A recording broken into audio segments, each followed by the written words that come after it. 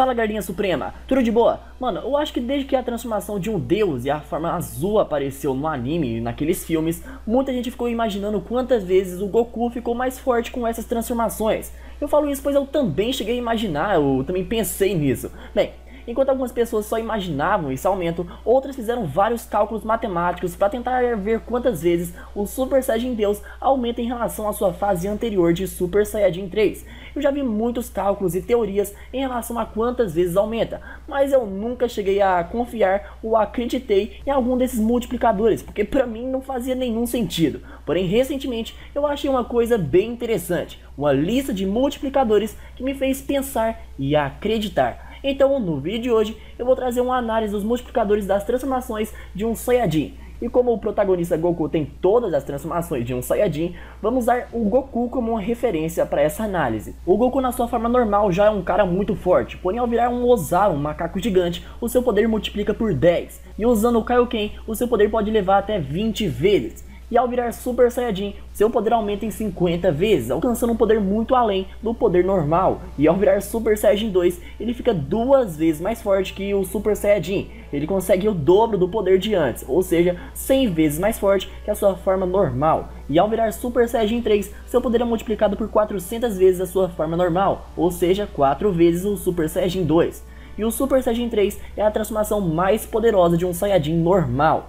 Porém, o Goku conseguiu ir além do Super Saiyajin normal. O cara alcançou o nível de um deus, o Super Saiyajin com Ki divino. Na sua primeira forma de um Super Saiyajin Deus, o seu poder agora era muito maior que o Super Saiyajin 3. Porém, a gente não tem uma informação oficial de quantas vezes essa forma aumenta.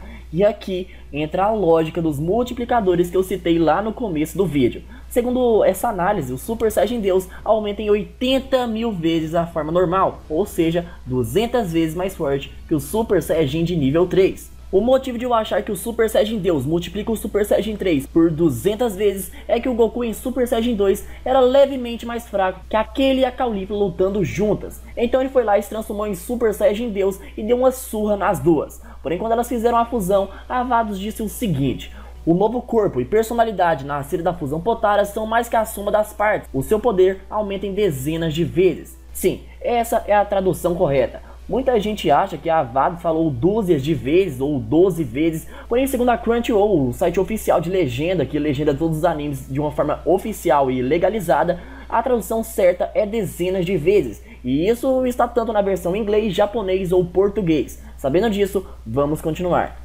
Mesmo sendo falado com todas as letras que era dezenas de vezes, os fãs não se contentaram com isso e foram lá no Twitter e perguntaram para os membros da Toei. E um deles responde dizendo que era muitas e muitas dezenas, e ele fala que está entre 50 a 800 vezes. E é por isso que eu digo que o Super Saiyajin Deus é pelo menos 200 vezes o Super Saiyajin de nível 3. Bem, então a gente descobriu o multiplicador do Super Saiyajin Deus baseado nos multiplicadores oficiais dados pelo anime e pela Toei Animation. Ou seja, o Super Saiyajin Deus aumenta em mais ou menos 200 vezes o Super Saiyajin 3 e 80 mil vezes a sua forma normal. Agora vamos falar do Super Saiyajin Azul, o Super Saiyajin do Deus Super Saiyajin. Como eu já falei muitas vezes aqui no canal, o Super Saiyajin Azul aumenta em 50 vezes o Super Saiyajin Deus, pois a fase azul é a transformação Super Saiyajin daquela forma vermelha de um deus. Na mesma luta que o Goku enfrenta a Kefla, a Kefla na sua forma normal rivaliza com o Goku em Super Saiyajin Deus, e quando ela se transforma em Super Saiyajin 1, o Goku se transforma em Super Saiyajin Azul e rivaliza com ela novamente. Lembrando que o Super Saiyajin 1 da Kefla é o Super Saiyajin Berserker, ou seja, o multiplicador dessa transformação deve ser um pouco maior que o Super Saiyajin 1 normal, ou seja, o Super Saiyajin Azul é pelo menos 50 vezes o Super Saiyajin Deus e 4 milhões de vezes a sua forma normal. Agora vamos falar do Migato no Goku imperfeito. Com essa forma, o Goku alcança 480 milhões de vezes a sua forma normal, ou 120 vezes mais forte que o Super Saiyajin azul. Eu creio nisso, pois eu acho que seja o dobro do poder daquela Genkidama que o Goku utilizou contra o Jiren, que por si já era mais forte que o Goku com o Kaioken 20 vezes aumentado. E já que nem o Kaioken e nem mesmo a Genkidama rivalizou com o Jiren, o Ultra Instinto deve ser no mínimo o dobro do poder daquela Genkidama. Bem, o multiplicador do Migato no Goku perfeito eu não consegui achar e nem deduzir aqui. Bem, Esses multiplicadores parecem bem absurdos, com números extremamente exagerados, mas de fato é o que a Toei fez em Dragon Ball Super. Ela subiu muito o nível de poder dos personagens. Vale lembrar que não estamos mais falando de transformações normais, e sim de transformações que estão no nível dos deuses. E falando já em deuses, você deve estar se perguntando aonde entra o Bills nessa história. A resposta é bem simples. O Bills já foi dito várias e várias vezes que está a anos luz mais forte que o Super Saiyajin Azul do Goku. E ele pode muito bem derrotar o Goku em Super Saiyajin Azul sem nem mesmo se esforçar.